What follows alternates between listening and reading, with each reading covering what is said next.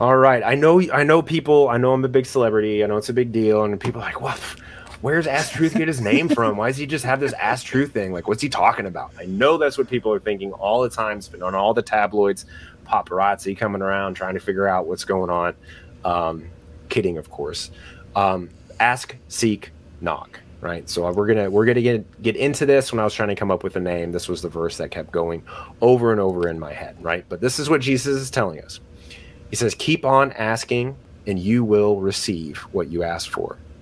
Keep on seeking, and you will find. Keep on knocking, and the door will be open to you. For everyone who asks receives, everyone who seeks finds, and to everyone who knocks, the door will be opened. Right. So here's here's the big secret. Right. It's not it's not very difficult to figure it out.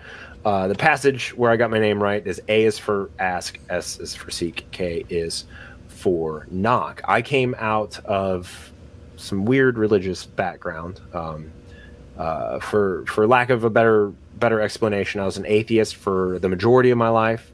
Uh, I started a new agey trend for a while. Uh, with the new ages are all into like the Eastern stuff. Buddhism was like the coolest thing ever, like the story of of uh, Siddhartha Gautama and how he became Buddha. Like I thought that was like the coolest story of all time. So then I became Buddhist, um, and then uh, you know through a fun little turn of events, uh, I found uh, or I kind of refound. I grew up in a Christian house, very nominal, but re rediscovered Christ and rediscovered the veracity. And what got me into apologetics was. Um, you know, I had a bit of a personal experience, and I wanted to figure out what it was and if there was any truth truth behind that personal experience for me accepting accepting Christ. And so what I've been doing ever since then is doing two things. One, trying to disprove my own position and prove my position simultaneously, right? So there's always a debate going on. And I truly believe, right? I truly believe God exists, um, sovereign, all knowing, all of those great concepts that most people believe, uh, at least monotheists believe about God. And I believe that if if you do this thing, you ask, you seek, you knock, um, He will reveal Himself to you. You will find, and He will open the door for you. Right?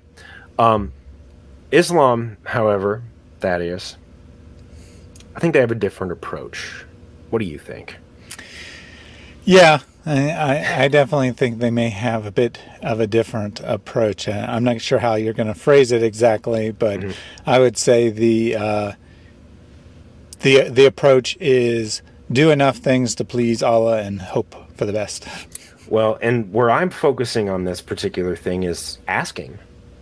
Can you question things in uh-huh. Islam, or how far can you ask questions in Islam? Where is where does your own Research. yeah, so so you know, as Yasir Qadhi famously says, you can push a little bit, but but once you get too far, you got to back off. You can't go any right. further. Right. There's there's that red line, right, that you can't cross. Where he says, you know, secular scholars they don't have that red line. They they see the problem specifically with the standard Islamic narrative, and they go, well, this this is a major problem for this like perfect preservation of the Quran. Like when you read all the Islamic sources, the earliest sources about the um, compilation of the Quran, what you find is it doesn't make any sense. And even mentioned uh, kind of a parable about the emperor with no clothes. He's like, look, to the rest of the world, Muslims who say that the Quran, and I'm paraphrasing, Muslims who say that the Quran is perfectly preserved look a little bit like the emperor with no clothes, right? They're naked, running around on the street saying, look, I've got clothes on. When